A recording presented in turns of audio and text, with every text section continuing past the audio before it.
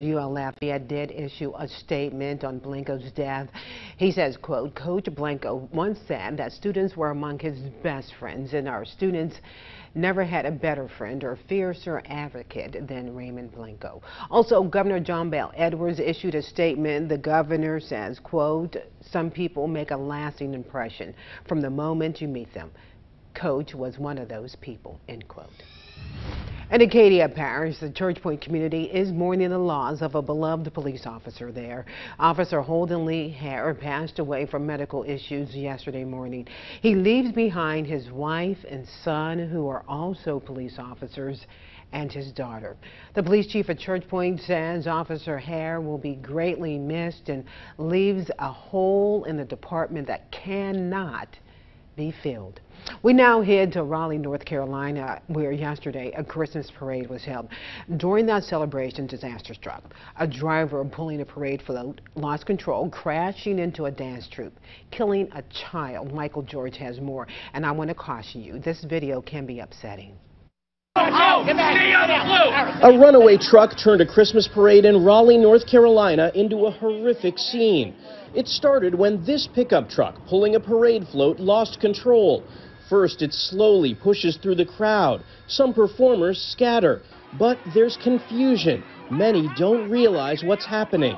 Then the truck picks up speed and strikes a young girl, killing her. It was just a lot of chaos. Cops running, people running. Bystanders and police officers jumped into action, chasing after the truck and physically forcing it to a stop. People came up and were helping like grab it and slow it down a little bit. Witnesses say they thought it was an accident. The driver was honking to warn others that the truck was out of control. The drivers, you could see the people in the truck getting out like telling people, warning people, get out, get out of the way, we can't stop, we can't stop. They were screaming. Police say the driver is cooperating and is now facing multiple charges, including misdemeanor death by motor vehicle and reckless driving. Michael George, CBS News. Back here on the local front, family, friends, and food is what the Thanksgiving holiday is all about for many of us. Once again, here's News 10's Dawson D'Amico telling us how one not-for-profit organization is taking it upon themselves to bring help to those in need. Man Up for Christ is a local organization built on the Word of God, providing guidance for men and women in need of help. This Thanksgiving season, the group decided to take it upon themselves to help feed the homeless a Thanksgiving meal they will never forget. That's what we're doing right now. Uh, we're feeding the homeless and uh, hopefully that day and, and, getting a meal that we can minister to them and show them the way to go and show them that Jesus is the way, the truth, and the light, that no man comes to the Father except by him. Over 100 boxes of food was distributed to Catholic Charities of Acadiana, who help homeless men and women. Since it's Thanksgiving time, you know, we well, we decided to do uh, baked turkey, baked ham, rice dressing, potato salad, and a string bean with, uh, with a slice of cake and a, a, a doner roll on it, on the tray. Starting from Freshwater Ministries in Lafayette, giving back to the community and bringing people to Christ is what this organization is built upon. Green explains what the feeling is like to have the ability to feed the homeless for the Thanksgiving holiday. It's a great feeling that we can reach out to someone and show someone the way and show them that Jesus is real. Uh, we we, we want to show them love and let them know that, you know, we have been down that road, you know, and God has delivered us. He can deliver you, you know, and that's what we want to do. That's the kind of love we want to express today. The organization is not done for the year. Man Up for Christ is looking to provide presents for children during Christmas we're going to reach back out and reach out to the kids and pass them out a toy or something like that, the ones that's less fortunate. Due to a request by Catholic Charities of Acadiana, News 10 was not able to go to the facility as the food was being distributed, but be sure many people were provided their very own Thanksgiving meal. Dawson D'Amico, KLFY, News 10. Then yesterday was the first distribution day for Coats for Acadiana. Kids and adults across the area, they were able to pick up new or gently used coats donated by people across the community. We love our community. This is the 20th year KLFY has teamed up with Home Bank and St. Edmond's Catholic Church Knights of Columbus just to make sure no one in this area is cold this winter. That's the way we get it done. You, you collect them, sort them out, clean them up, give them away. There will be another distribution day the weekend before Christmas. You can find locations on our website. That's KLFY.com. Uh, then a police officer shortage have been an issue nationwide and right here at home as well. News 10's Rodrika Taylor looks into some of the departments facing shortages throughout Acadiana and how agencies are working to resolve the issue.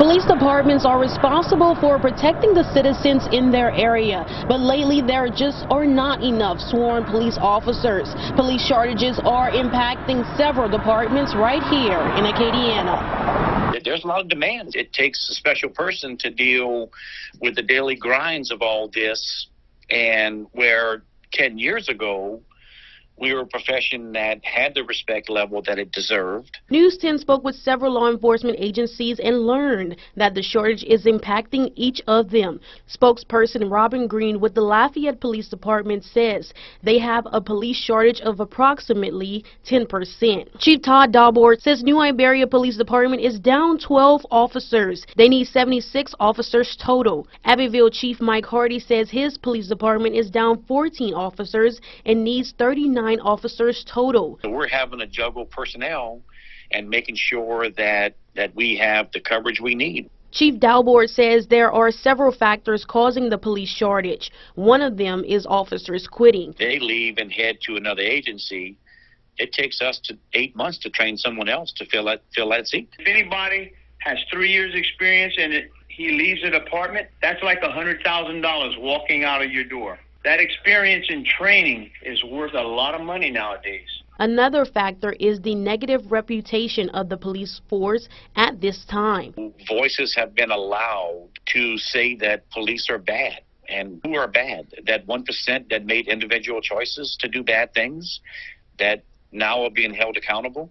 Chief Hardy says many times police officers want to make a career when they join law enforcement, but the pay may also drive them to seek something else. We need to pay our officers what they're worth. We have to make this salary competitive with surrounding areas. Rodrika Taylor, KLFY News 10.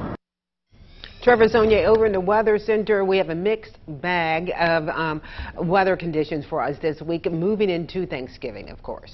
Yeah, cold, warm, rain chances, yeah. clouds, sun, a little bit of everything in the seven-day forecast. Mm -hmm. Let's go ahead and take a look at temperatures first. We're sitting in the 30s for this morning across northern portions of Acadiana and sitting in the 40s across most of Acadiana. Notice about 42 in Lafayette, uh, 43 in New Iberia, 37 in Opelousas. Satellite radar shows clouds in the process of clearing out, but it will be a slow process as it usually is with these clouds. But I do think we'll see some clearing later on this afternoon, and that'll give us mostly sunny skies, at least temporarily, before more clouds come in later on tonight and for tomorrow. So temperatures rising accordingly, getting into the upper 50s for highs later on this afternoon. Future track shows sunshine, but notice tonight clouds coming right back into the area. That's in response to our, ne our next upper level system that will be moving through. And that could give us some shower activity for tomorrow. Now, it won't be incredibly heavy. It won't be widespread. Maybe just some light sprinkles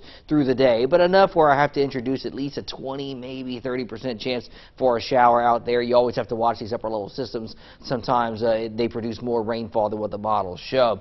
Lower 40s for this morning, rising into the upper 50s later on this afternoon. Mid 40s again tomorrow morning, and we're in the mid 50s tomorrow afternoon. I think we see a little less sun tomorrow and more clouds. That's why we'll be on the cool side once again, but temperatures continuing to trend some 10 to 12 degrees below average for this time of year. Our next upper level feature moves in for tomorrow, giving us that cloud increase and that slight uh, shower chance. And then for Thanksgiving Thursday, yet another system moving in. We do have some differences between the GFS and the Euro model. Those are the two main models that we use, uh, among others, and they're showing a system coming in for uh, Thursday, maybe lingering through Friday. Firstly, uh, here's the Euro model for you. It does show some shower activity moving in on Monday. Tuesday and Wednesday, models have us dry, so that's good there. It has a system coming in Thanksgiving Thursday, but the difference comes Friday. It quickly clears us out. GFS model is different. It shows the showers coming in for tomorrow, so pretty high confidence. We'll see at least maybe a 20-30% chance for showers for tomorrow and a dry Tuesday, Wednesday. But for Thanksgiving Thursday, it has most of the storm action actually still across eastern Texas. It has a system moving in Friday and then lingering through Saturday, giving us some heavier rainfall. So we have two different models there and two different solutions.